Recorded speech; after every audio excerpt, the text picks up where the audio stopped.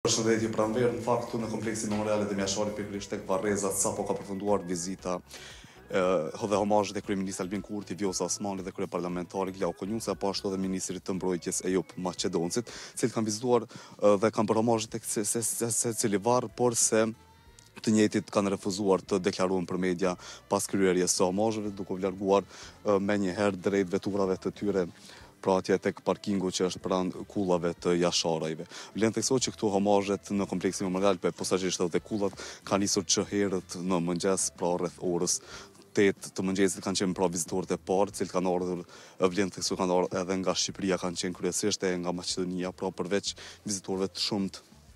nga vendi i Kosovës, të cilët kanë bërë homazhe me rend tek secili varr. Vlen, tash për momentin është erdhi sapo erdhi edhe ministrja e drejtësisë Albulena Haxhiu për të bërë homazhe pra ndarazi nga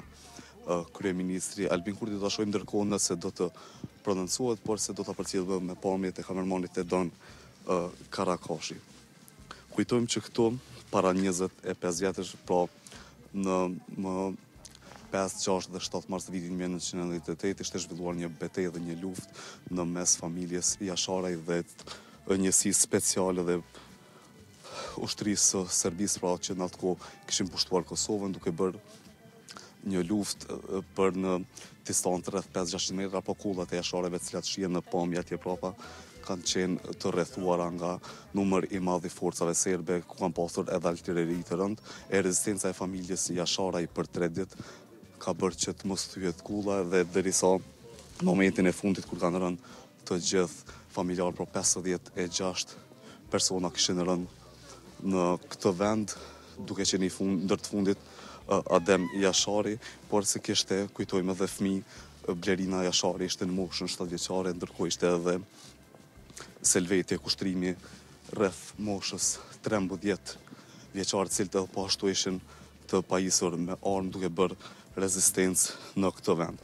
Vlen të theksohet që njëzet e dy nga këta të rënë, nga pesëdhjetë e gjashtë të rënët, ishin të familjes Jashari, derisa kishte edhe banorë të fshatit, por se edhe persona tjerë që kishin ardhur nga larg për ta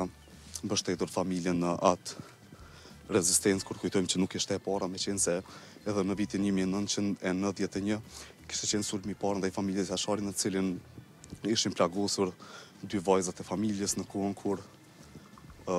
komandanti Adem Jashari nuk ishte qenë prezent në shtëpi. Këtu e në paka shumë homazhe dhe kjo është pak a shumë një përmledhje e ngjarjes dhe Epopesë së Ushtrisë Çlirimtare të Kosovës 5, 6 dhe 7 mars të 98-ës që ne do vazhdojmë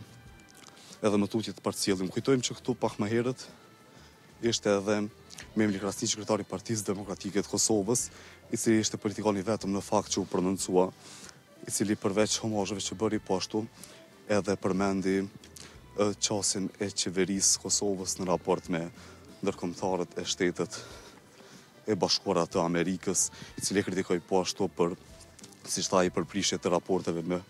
aleatin, siç e quajti më të madh, Shtetet e Bashkuara të Amerikës, duke përmendur po ashtu deklaratat e zyrtarëve shtetërorë amerikanë, të cilët kishin shprehur pakënaqësi në qasjen e Qeverisë së Kosovës sa i përket çështjes së